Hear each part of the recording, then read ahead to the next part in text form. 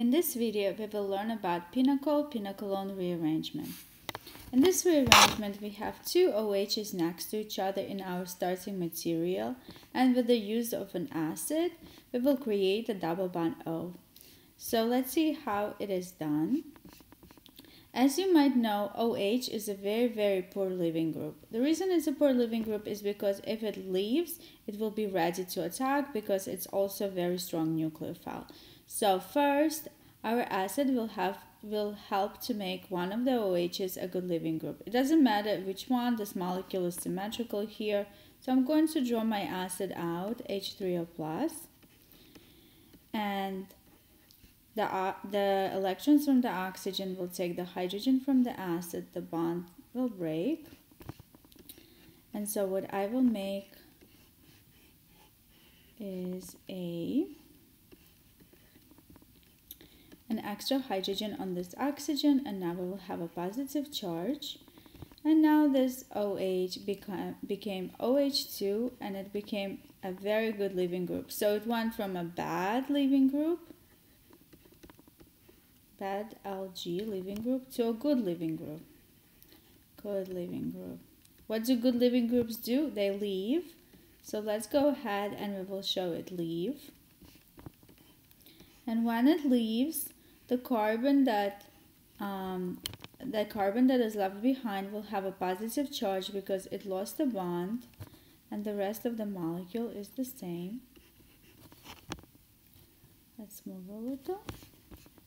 So what happens next? Basically, pinacol-pinacolone rearrangement is just a case of our regular carbocation rearrangement. So we could have an alkyl shift or hydride shift when we get to the carbocation. Since we see that my ring was a 6 carbon ring, but it became a 5 carbon ring, that means that was an alkyl shift. One of the carbons must have moved. How do you know which carbon moves? When you have a carbocation, you're supposed to look at the carbons neighboring the carbocation. So I have this carbon, this carbon, and this one neighboring the carbocation. Our, we are looking at the carbon that is more substituted or somehow would be better for positive charge. So the current carbocation is tertiary. The carbon here is also tertiary. This carbon is primary because it's only attached to one carbon and this carbon is attached to two carbons so it's secondary. So the best neighboring carbon we would be looking at would be this carbon that has an OH group on it. Let me just erase it. Um, now, how do we know which what to move from the neighboring carbon? So any bond from the neighboring carbon could move in a carbocation rearrangement. So we could move either this bond, this bond, or that bond. However, if you know that your ring changes shape, so here we went from a cyclohexane to a cyclopentane, which means that our ring has changed its shape, that means we have to move a bond that is inside the ring. If we move any of the bonds outside the ring, then the ring will stay intact. It will be a cyclohexane and we know that the ring cannot stay intact. So the only bond on the neighboring carbon that's inside the ring is this one. I'm going to go ahead and move it this way.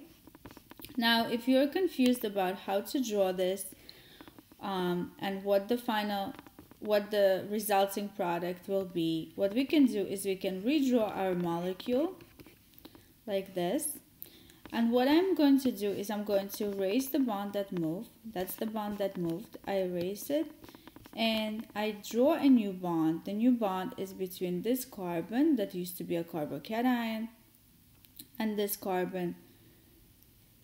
And so that's my new molecule. Now one of the carbons still gets a carbocation, it's just no longer on this one because it got the new bond. The carbon that receives a carbocation, a positive charge, the carbon that gets a positive charge is the carbon that is missing the bond. As you can see here, when my bond moved, this carbon is missing a bond. Also, it was that original neighboring carbon that we were looking at. And this is my resulting product so far. Now I can go ahead and I can redraw it more pretty. I will number it 1, 2, 3, 4, 5. So I have a 5 member ring. I'm going to number it one, two, three, four, five. My one has a methyl group and it also has this group with the OH and a positive charge. And so what I can do next is I can look from my molecule to the product and I see that the product has a double bond O. So this carbocation is actually resonance stabilized. I can move electrons here and that is how I will get my double bond O.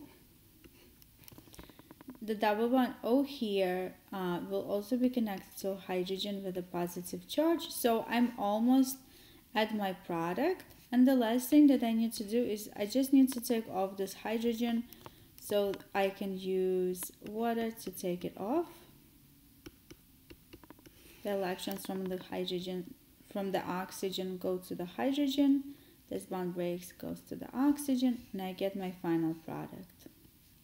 Let's just do a brief overview of this rearrangement again, just to understand it, um, so we can do it in the future. So if we see ever that we have two OHs next to each other and they're made into a double bond O, oh, this is this kind of rearrangement, pinacol, pinacolone rearrangement. You don't really have to know it name, its name, you just have to be familiar with carbocation rearrangements in general to do this problem. So first oxygen gets protonated to become OH2 because originally it is a very bad leaving group and then when it gets protonated it becomes a good leaving group and it can leave creating a carbocation here. Then we have to shift something. So we're looking at the carbon neighboring our carbocation, which is this carbon that's next to an OH group. And we can move any of its bonds to the carbocation, but we're choosing to move the bond inside the ring so that my ring will change its shape. It will go from a cyclohexane to a cyclopentane. Then we can redraw our product, erase the bond that moved and, and draw the new bond. And then we can number the product and redraw it um, in a better way.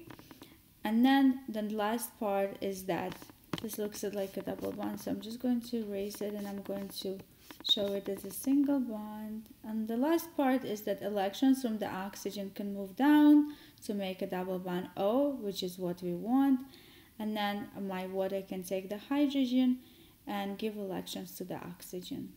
I hope you found this lesson helpful and I look forward to seeing you more in my general chemistry and organic chemistry videos.